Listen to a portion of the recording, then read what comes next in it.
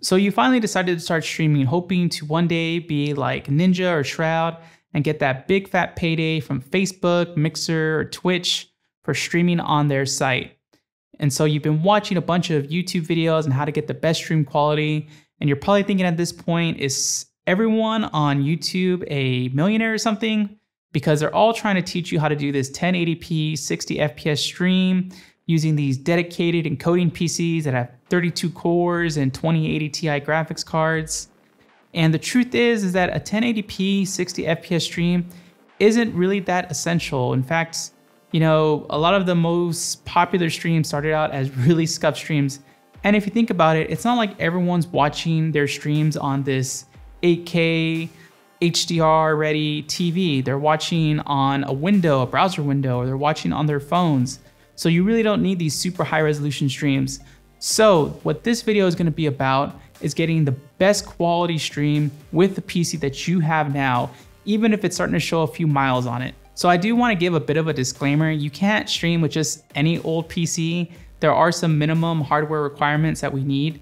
So if you wanna stream and play games at the same time, you're gonna need at least a quad core CPU.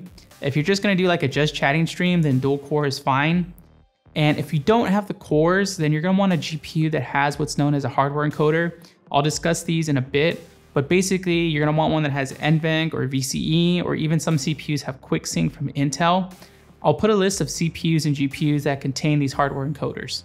So what is a hardware encoder and how do we use them? Well, if you think about encoding, encoding is basically taking the video and audio that you're putting together in your streaming software and compressing it in a way that you can send it to a streaming site and this compression is basically usually done by the CPU, which takes up a lot of resources. That's why when you start streaming with your CPU, this is done with X264.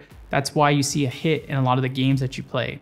Now, a hardware encoder is basically devices built into CPUs, GPUs, and some capture cards.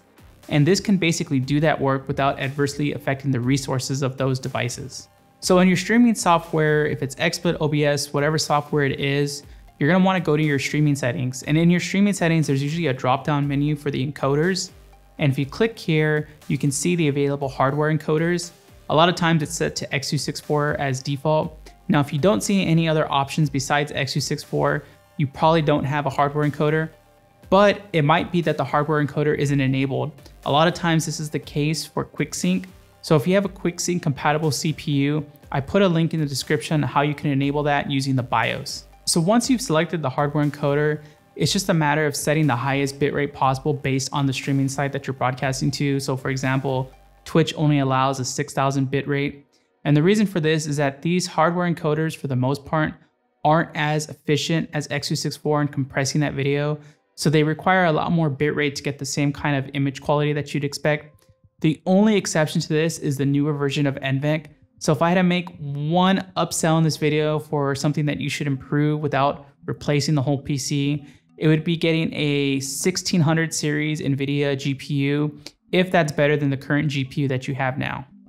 So if you have to encode your video using X264, you have to take into account the things that are gonna tax your CPU. And the biggest things that are gonna affect the usage are the size of the video, this is resolution, and the amount of activity going on, this is gonna be frame rate, and the stuff going on on the screen. So let's talk about resolution first. So considering sites like Twitch limit the amount of bitrate that you can use, I really recommend sticking with just 720p, so that's 1280 by 720. Now, if you're doing this and you still are seeing your CPU usage spike, I really recommend downgrading the resolution. So going to 480 or 360p, so that's like 640 by 360. Now, the people on the 8K TVs might get annoyed with this resolution, but the truth is that if you have people like that watching you, then put the donation goal up so that you can buy that Super Beast PC to encode something for their glorious TVs. So the next most important thing is the FPS. Now I know it's really important, especially for gamers to have 60 FPS, but this can really tax your CPU and you have to make a choice between FPS and resolution. So if you really, really need that 60 FPS, lower the resolution. If you want the higher resolution or crisper images, especially if you're on bigger screens, then lower the FPS and put up the resolution. I actually put together some encoding settings I'll leave a link to the settings in the description, also links to the video, see if you can tell the difference between the different encoding settings.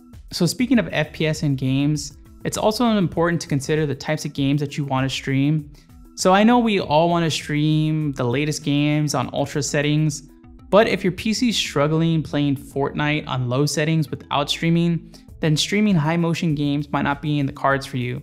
So you want to stream games that have less things going on on screen. So you want to stream games like card games like Hearthstone or Legends of Runeterra, or play retro games, games that are less graphically intensive.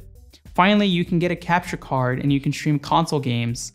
And if your computer can't handle the most basic of games, don't worry, there's still options for you for streaming. So the world of just chatting or desktop streaming or IRL streaming is open to all. Anyone can do it. You can do it with the most potato PC, you can do it with your cell phone. And I think everyone should try and do this type of streaming because it strips away all the distractions really because you have to work on the most important part of streaming, the thing that trumps any type of stream quality, technical stream quality. It's really what helps you develop the real stream quality or the real judgment of people are going to watch, and that is the actual content. So it doesn't matter if you have 1080p, 60 FPS, if you have amazing overlays, funny alerts, the best microphones, the best lighting. None of that matters no matter how technically sound the stream is. It does not matter if the content is boring. If you think about some of the top streamers, if you look at the top streamers on any streaming platform, their production quality likely hasn't changed too drastically over the years. I mean, it's gotten maybe a little bit better, a little bit better cameras, but if you think about it, think about streamers like Shroud or Aris or Avoiding the Puddle. You don't watch them because they have a fancy blurred background or the green screen. You watch for amazing kills or to hear about smelling the flowers. So sadly, creating interesting content isn't something that you can just easily teach to someone. You're either born with the gift of gab or you work really hard and experiment to find your own niche and your own audience in your own community. But at least if one thing you've taken away from this video is you've taken one worry away, which is just having a stable watchable stream. So I wanna know from you, the viewers, how do you judge stream quality? Does 1080p matter to you? What keeps you watching a stream? And have you ever bought an expensive piece of streaming equipment that really didn't help out too much at all or you didn't use much at all? Let me know in the comments, leave a like if this video was useful, and make sure to subscribe if I saved you a few bucks. Catch you on the next one.